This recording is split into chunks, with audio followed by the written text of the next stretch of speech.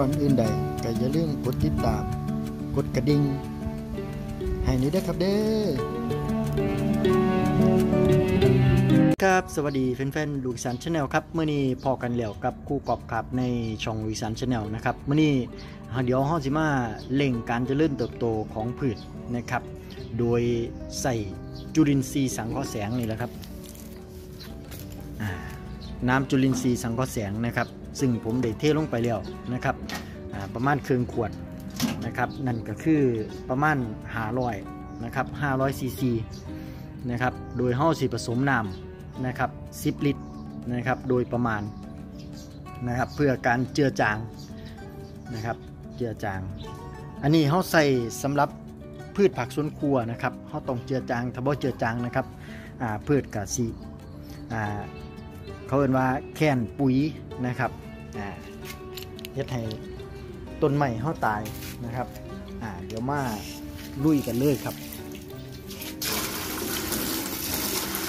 เขาใส่จุลินทรีย์ไปแล้วนะครับ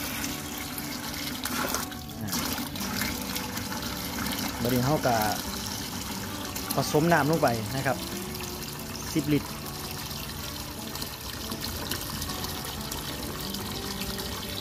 เดี๋ยวจะมาาใส่กับพักในโดมห้อนี่แหละครับ เป็นโดมเป็นโดมอ่าเป็นโดมเอสกิโมนะครับอ่าซึ่งจะเป็นโดมพัก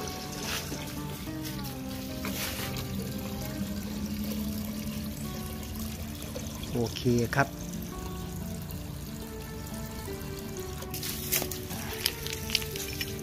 เดี๋ยวมาลุยกันเลยครับ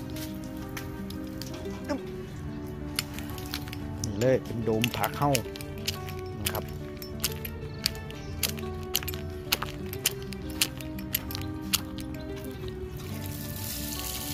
ลงไปเลยครับพี่น้องครับ อันนี้ก็จะเป็นเมลอนนะครับ มันเป็นถั่วถั่วแดงนะครับ เป็นไส้เอยผักไส้นะครับ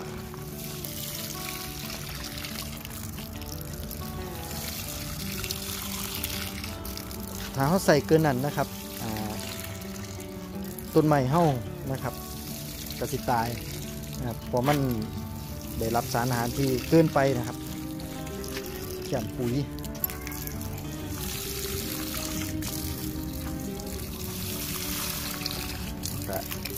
ใส่จุลินทรีย์เลย การเร่งการเจริญเติบโต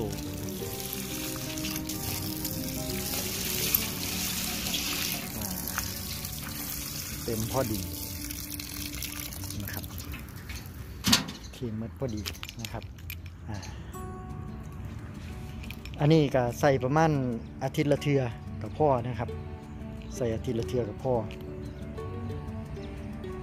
เดี๋ยวก็จะเห็นว่าต้นไม้เฮามันเขียวมันงามนะครับ เดี๋ยวก็มาติดตามผลทีหลังนะครับเนาะอันว่าเดี๋ยวคลิปนี้เอาไว้สำนีก่อน นะครับในการเล่งการเจริญเติบโตของพืช โดยใช้จุลินทรีย์สังเคราะห์แสงนะครับ คุณประโยชน์มากมายเลยทีเดียวนะครับ เหมือนกับเป็นปุ๋ยครอบจักรวาลเลยนะครับ โอเคนะครับพี่น้อง เดี๋ยวคลิปนี้เอาไว้สำนีก่อน เราพอกันไม่ในคลิปหน้าครับสำนีคู่กอบต้องลาไปก่อนสวัสดีครับ